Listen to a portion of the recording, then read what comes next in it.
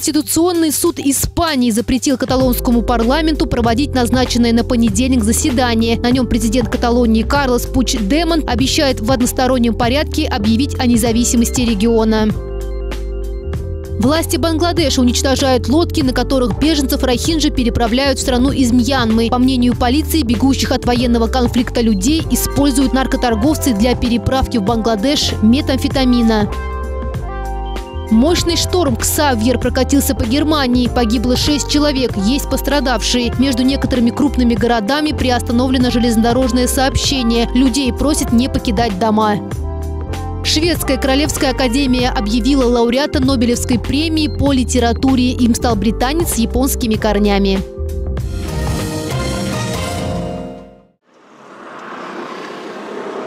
Испания пытается не допустить того, чтобы Каталония в одностороннем порядке объявила о независимости.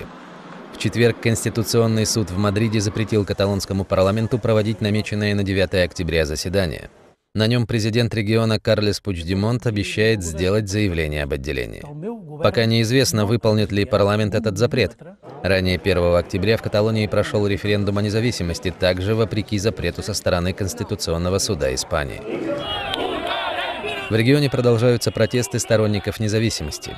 Волну негодования усилили действия испанской полиции в день референдума. Стражи порядка пытались не допустить людей на пункт голосования – в ходе стычек они применяли дубинки и резиновые пули. Пострадало около 900 человек. Это один из многих шагов, которые предпринимают власти Испании. Они постоянно нам угрожают. Мы к этому уже почти привыкли. Не могу представить, что полиция будет арестовывать политиков в парламенте. Явка на референдуме составила только 42%. Это означает, что многие не поддерживают отделение. Думаю, решение суда правильное. Каталония принимает решение в одностороннем порядке, так что надо было что-то сделать, чтобы помешать этому намерению в понедельник. Премьер-министр Испании Мариано Рахой призвал правительство Каталонии отказаться от объявления независимости. Ранее Еврокомиссия заявила, что референдум был незаконным и что Каталония не может автоматически стать частью ЕС. Кроме того, король Испании сказал, что сторонники независимости региона нарушили Конституцию, проведя референдум. На фоне усиления кризиса два крупных испанских банка решили перенести свои главные офисы из Каталонии в другие части Испании.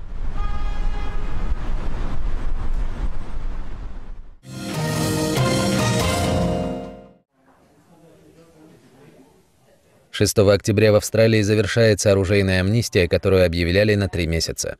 За это время австралийцы добровольно сдали властям около 51 тысячи единиц незарегистрированного огнестрельного оружия. Это примерно пятая часть всего нелегального оружия в стране. Подобную амнистию провели в стране впервые за 20 лет. Каждая из этой 51 тысячи единиц оружия могла пойти в ход, могла быть использована в преступлении, в котором могли быть убиты австралийцы. Но теперь этого не произойдет. Это оружие собрали и уничтожат. Все это теперь не на улицах и никому не навредит. В Австралии действуют строгие законы в отношении владения оружием. Их ввели после массового убийства в тасманском Порт-Артуре в 1996 году, когда мужчина расстрелял из автомата 35 посетителей кафе. С тех пор подобного в стране больше не происходило, да и в целом преступлений с использованием огнестрельного оружия здесь стало меньше. Просто так ружья, винтовки и пистолеты австралийцам теперь не купить, нужно получать разрешение. И самооборона для выдачи такого разрешения больше не считается причиной. Запрещено также и ношение оружия. Все мы знаем о шокирующей трагедии в Лас-Вегасе. У убийцы была целая коллекция полуавтоматического оружия.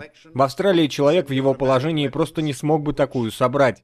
Для этого у нас и действуют строгие законы контроля над оружием. В рамках амнистии австралийцы сдавали по более 500 единиц оружия в день. Сообщается, что принесли даже винтовки и автоматы времен обеих мировых войн и револьвер позапрошлого века.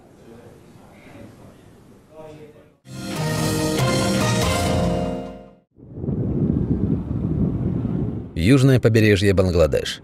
Еще недавно на этих лодках сюда прибывали сотни беженцев Рахинджа из Мьянмы. Однако пограничники все плавсредства решили уничтожить. По мнению бангладешских властей, массовым бегством людей воспользовались наркоторговцы. Поскольку лодки с беженцами не досматривают, в них из Мьянмы в Бангладеш доставляют метамфетамин. Местный рыбак говорит, что пограничники прибегают к помощи местных жителей. Прошлой ночью Рахинджа приплыли на лодках, а бангладешские пограничники остановили их и приказали бангладешским рыбакам уничтожить лодки. Сами Рахинджа утверждают, что пограничники их избивают. Когда я прибыл в Бангладеш из Мьянмы на лодке, бангладешские пограничники поймали меня и начали бить палками. Они также сделали дыру в лодке. Когда мы ночью приплыли в Бангладеш, пограничники пришли с фонарями и сделали дыры в каждой лодке. По данным властей Бангладеш, с 2011 по 2016 годы метамфетамин в стране стали изымать в десятки раз чаще, чем раньше. Это связывают с притоком в страну беженцев Рахинджа. Кроме того, военные говорят, что перевозчики часто пользуются бедственным положением Рахинджа. За одну поездку могут брать более 120 долларов США с человека. Это непомерная сумма для народа, который живет за чертой бедности. С конца лета из Мьянмы в Бангладеш бежало уже около полумиллиона мусульман Рахинджа. Они спасаются от военной операции мьянманских властей. Ее развернули против радикальных боевиков Рахинджа, которые в конце августа совершили ряд атак на военных. Рахинджа – народ, у которого нет родной страны. Ни Мьянма, ни Бангладеш не выдают им гражданство, считая нелегальными беженцами.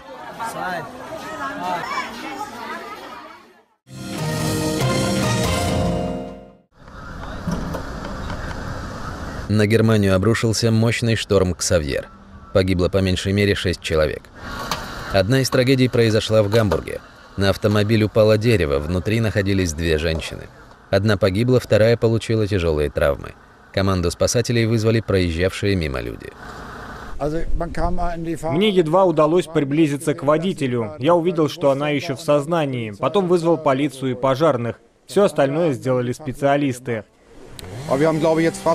Понадобилось почти 45 минут, чтобы извлечь человека настолько осторожно, насколько это возможно. Нужно было постараться, чтобы не задеть пострадавшую. Еще четыре человека, также находившиеся в автомобилях, погибли в федеральной земле Бранденбург. Один водитель погиб в земле Мекленбург, переднее Померания. Из-за разгула стихии метеорологическая служба объявила третий уровень опасности. Предупреждение действует от побережья Северного моря до Саксонии. Людей просят не выходить из домов. Железнодорожная компания Deutsche Bahn отменила некоторые рейсы. В Гамбурге многие пассажиры не могут никуда уехать. Я в неведении. Мы хотели поехать на Зильт, но все замерло. Подобная ситуация и в Берлине. Мы хотели поехать во Франкфурт, и теперь стоим здесь с двумя маленькими детьми в недоумении. Нам только сообщили об отмене поезда, никакой другой информации нет. Теперь мы просто надеемся, что нам помогут. Железнодорожное сообщение приостановлено между Ганновером и Гамбургом, Ганновером и Берлином, Дортмундом и Гамбургом. Когда движение поездов будет восстановлено, пока неизвестно. Тем временем в Берлине после шторма начали спиливать поврежденные и представляющие опасность деревья. Синоптики прогнозируют, что погода ухудшится по всей Европе. Шторм может добраться и до России.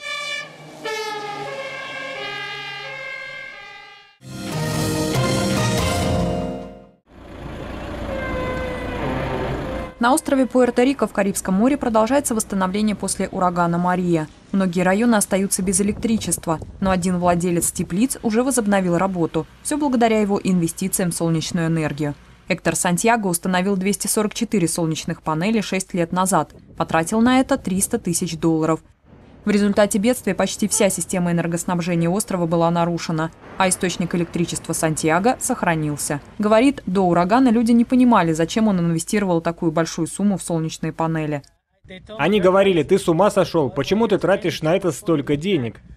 Но после урагана пятой категории Эктор смог быстро восстановить работу, хотя его теплицы тоже сильно пострадали. Сейчас солнечной энергии хватает на работу двух водных насосов.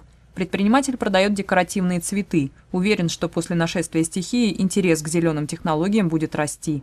В последние годы правительство уделяет этому много внимания. Многие общественные учреждения используют солнечную энергию. Э, Это подтверждают и местные производители солнечных батарей. По их прогнозу, спрос с каждым годом будет увеличиваться на 20%.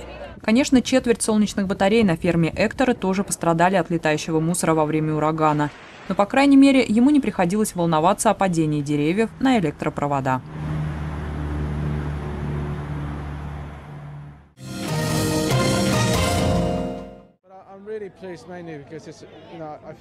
Британец японского происхождения Кадзуо Исигура стал обладателем Нобелевской премии по литературе 2017 года. Нобелевская премия по литературе 2017 присуждается английскому писателю Кадзуо Исигура, который в романах, обладающих большой эмоциональной силой, раскрыл пропасть, лежащую под нашей иллюзорной связью с миром. Исигура родился в японском городе Нагасаки. В Великобританию его семья эмигрировала, когда ему было 6 лет. Самые известные его романы «Остаток дня» и «Не отпускай меня». По книгам сняты одноименные фильмы. За «Остаток дня» Исигура получил Букеровскую премию. А «Не отпускай меня» попал в список 100 лучших англоязычных романов 20 и 21 столетия по версии журнала Time. Произведения Исигура переведены более чем на 30 языков мира, включая русский. Нобелевская неделя началась с объявления лауреатов премии по физиологии и медицине. Премия досталась американским ученым Джеффри Холлу, Майклу Росбашу и Майклу Янгу за изучение молекулярных механизмов, которые контролируют биологические часы. Ученые помогли объяснить процессы, которые происходят в организме при нарушении суточного биоритма. Они также пришли к выводу, что человеческий организм действует согласованно со сменой дня и ночи благодаря специальным генам. В области физики лауреатами стали тоже американские ученые – Райнер Вайс, Барри Берриш и Кип Торн. Их наградили за экспериментальное открытие гравитационных волн при помощи ЛИГА – лазерно-интерферометрической гравитационно-волновой обсерватории в США. Сигнал исходил от слияния двух черных дыр. Наконец, Нобелевскую премию по химии разделят швейцарец Жак Дюбаше, американец Йоахим Франк и британец Ричард Хендерсон. Ученых удостоили награды за разработку криоэлектронной микроскопии высокого разрешения. Она позволяет лучше рассмотреть биомолекулы. Нобелевские премии ежегодно присуждает Шведская Королевская Академия Наук в Стокгольме. Награждение по традиции состоится 10 декабря, в день смерти основателя премии, шведского химика Альфреда Нобеля.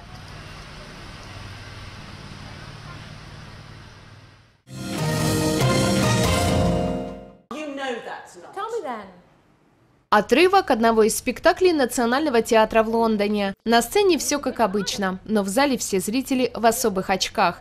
Это новая технология, которая позволяет глухим и людям с нарушениями слуха видеть субтитры виртуальной реальности. Один из волонтеров, испытывающих новую технологию, говорит, что раньше в театре ей приходилось терпеть некоторые неудобства. Например, прочитать по губам не всегда представляется возможным, а иногда мешают посторонние шумы.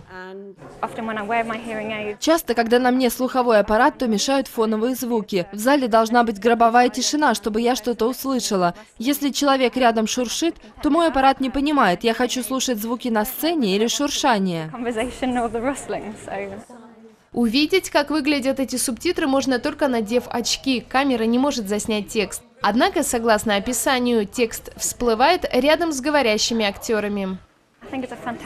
Это удивительная технология. Можно увидеть театральную постановку с субтитрами в любое время. Во время представления титры всплывают прямо возле актера. Это новая технология. Текст появляется с некоторой задержкой, но я уверена, что ее усовершенствуют. В Национальном театре уже предусмотрена функция для глухих. Здесь установлен небольшой экран, на котором показывают субтитры. Однако обычно текстовое сопровождение обеспечивают для некоторых спектаклей и в основном утром. В очках можно сидеть в любом месте зала, не обязательно садиться в определенную зону, откуда видно экран. Можно прийти с друзьями, родственниками, сидеть в любом месте зала и смотреть спектакль. Технологию пока тестируют, однако театр планирует сделать все свои спектакли доступными для людей с проблемами слуха. В Великобритании зарегистрировано около 11 миллионов человек, у которых наблюдается полная или частичная потеря слуха. Из них 900 тысяч практически не слышат или полностью глухие. При этом население страны стареющее. По прогнозам, к 2035-му проблемы со слухом могут быть у каждого пятого британца.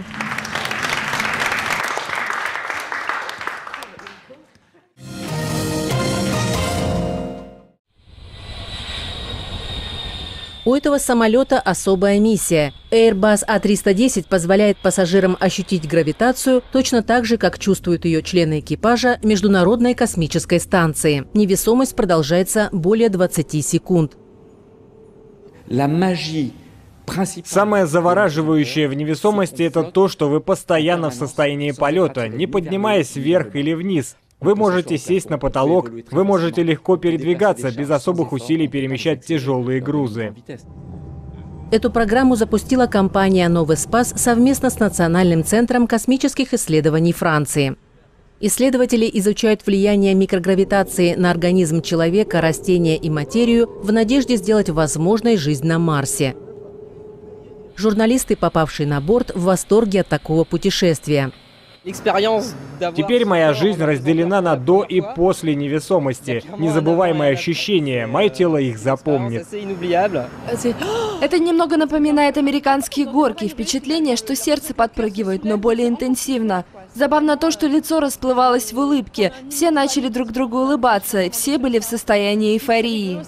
Полеты проводят в Мериньяке на юго-западе Франции. Такое развлечение доступно для всех, но обойдется в 6 тысяч евро. При этом часть вырученных средств пойдет на финансирование научных исследований. Каждый может ощутить себя в невесомости. Это просто невероятно. И в то же время пассажир будет частично участвовать в публичных научных исследованиях, финансируя их. Чтобы достичь невесомости, самолет резко взлетает вверх, добиваясь угла полета 50 градусов. При достижении определенной высоты он начинает свободно падать. Такие виды полетов все чаще используются для исследований и подготовки оборудования для Международной космической станции.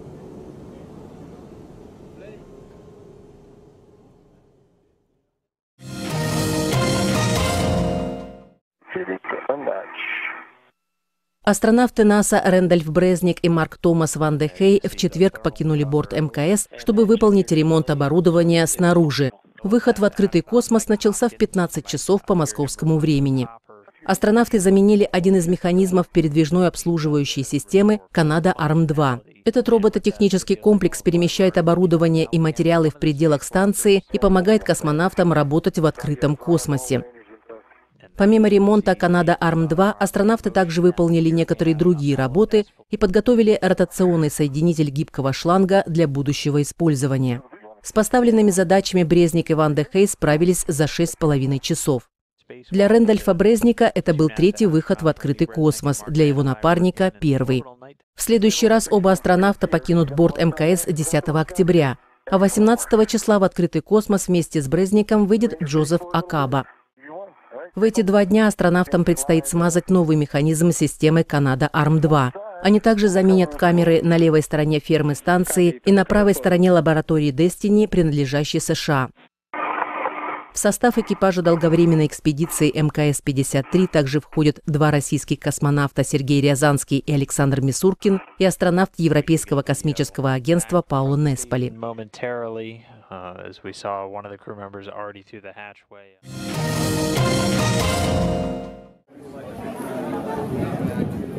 Один из ресторанчиков быстрого питания в британском городе Йорк уже несколько недель буквально оккупирует покупатели. Их притягивает йоркширский пудинг, приготовленный по-новому. Здесь решили делать традиционное английское блюдо в виде ролла. Начинку из мяса и овощей заворачивают в тесто, приготовленное по особому рецепту. И вот, собственно, и все. So we, we thought, well, you know мы подумали, что многие любят йоркширский пудинг и жаркое из говядины. Вероятно, такое блюдо родители готовили им на протяжении многих лет. И почему бы не свернуть это в ролл? Сказано, сделано. Фотографию обновленного йоркширского пудинга выложили в социальную сеть. Началось какое-то сумасшествие, если честно. Мы были недостаточно подготовлены к такому. У меня в почтовом ящике, кажется, почти полторы тысячи сообщений. Я просто не успеваю все прочитать. В очередь за йоркширским пудингом выстраиваются и туристы. Наверное, это просто символизирует Англию. Йоркширский пудинг очень известен, а тут его еще и свернули в ролл. Это уже нечто другое, поэтому мы должны были попробовать. Йоркширский пудинг – основная часть воскресного обеда в Великобритании. Эта традиция до сих пор сохраняется в Йоркшире. Такое блюдо делали в Англии на протяжении многих столетий. Изначально оно называлось капающим пудингом. Его готовили одновременно с бараниной, чтобы стекающий с нее жир попадал в тесто. Подают пудинг с мясом, жареным картофелем и другими овощами. Также добавляют зелень и соус.